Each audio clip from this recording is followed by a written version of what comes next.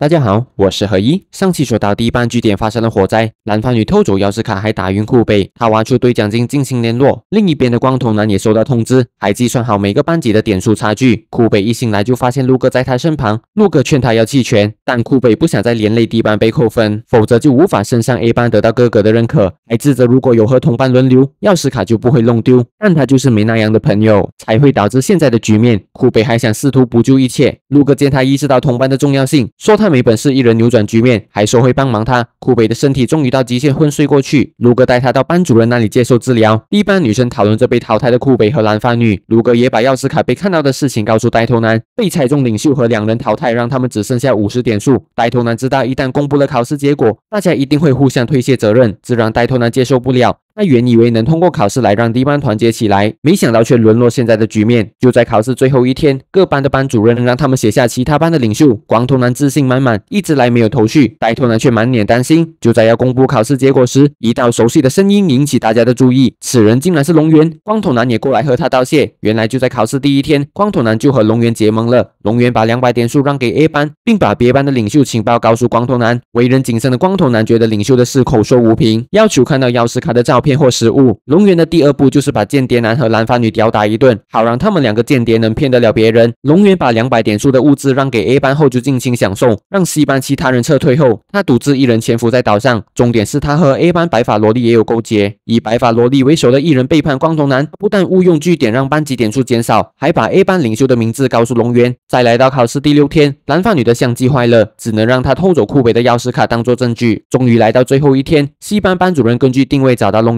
并让他写下每个班的领袖。C 班但是猜中领袖和据点的分数就已经超过 A 班了。龙源信心满满的等待胜利。A 班班主任开始公布成绩，最后一名是 C 班，零点数；第三名是 A 班，一百二十点数；第二名是 B 班，一百四十点数。而拿到第一名的就是 D 班，两百二十五点数。D 班都不敢相信自己的耳朵，其他班的人都蒙圈了。带头男也松了一口气。在船上的库北也一脸不可置信。他们一上船就看到悠闲享受的嘴炮男，面对火爆男的指责，他还是不要脸的说不。舒服，在身后的陆哥默默走掉，库北追上陆哥要他做解释。另一边的白发萝莉没有因为拿到第三名而惊讶，反而说一切都和他想的一样。他的随从正是告诉龙源情报的人，还丝毫不避忌来到光头男面前看戏。光头男自然不是傻子，他也猜到眼前的男人和龙源有勾结。蓝发女找到龙源和他道歉，不过龙源没有责怪他，也猜到为什么 C 班是零分，因为他们没猜中 D 班的领袖。陆哥说库北不是领袖，钥匙卡上的名字竟然写着陆哥，他在考试就快结束时换了领袖。规矩上有写，如果没正当理由，就不能变更领袖。反过来说，就是如果有正当理由，就能换领袖。库北身体不舒服就是正当理由，这也是为什么龙源和光头男没能猜中第一班领袖。卢哥先是把蓝发女的相机弄坏，算好库北身体极限的时机，并用网红女的电邮作为回报给吴庸男。先是故意给蓝发女看到钥匙卡，再让吴庸男故意弄脏库北，蓝发女就会趁机会偷走钥匙卡。营地里会发生火灾，也是陆哥帮蓝发女制造机会逃走，好让他能去找龙源。陆哥原本的计划是靠占领据点来得到点数。他猜到 A 班领袖是绿头男，也知道龙源留在岛上。他们见到龙源时，他的身旁有一台无线电。陆哥也找到蓝发女藏在树下的无线电，这也代表龙源还在岛上。C 班的领袖自然是龙源。从那刻起，陆哥就把策略换成了猜领袖。陆哥没有调查 B 班的领袖，因为毁掉合作关系并没好处。加上 B 班本来就有间谍，就算陆哥不出手，B 班也会。被猜中领袖，最后一切就和陆哥计划那样，其他班都被猜中领袖，并失去奖励点数。库北不明白为什么陆哥要帮忙，还想追问下去时就被其他人找上了。陆哥早就拜托带头男，让他把一切功劳归给库北。陆哥再次默默走掉，留下不知情的库北。志田找到陆哥说，果然还是讨厌库北。他问陆哥，如果要站在一边，会选择库北还是自己？陆哥还是随便给了敷衍的答案，然后就非常刚好的收到班主任的信息。班主任非常满意陆哥的计划，陆哥让班主任说出男人要求他退学。的事，班主任利用戴达洛斯和伊卡诺斯的故事来描述陆哥的事情。陆哥这个儿子会飞翔，不过是父亲叫他去飞罢了，并不是儿子本身想飞。请求让陆哥退学的人正是他的父亲，还说总有一天陆哥会选择主动退学。陆哥正想离开剧院，知道一切真相的库北找上来了。库北知道是陆哥每次把他当做挡箭牌。陆哥淡定回应库北说过的那句需要同伴。库北还以为陆哥是为了如此简单的一句话才帮他。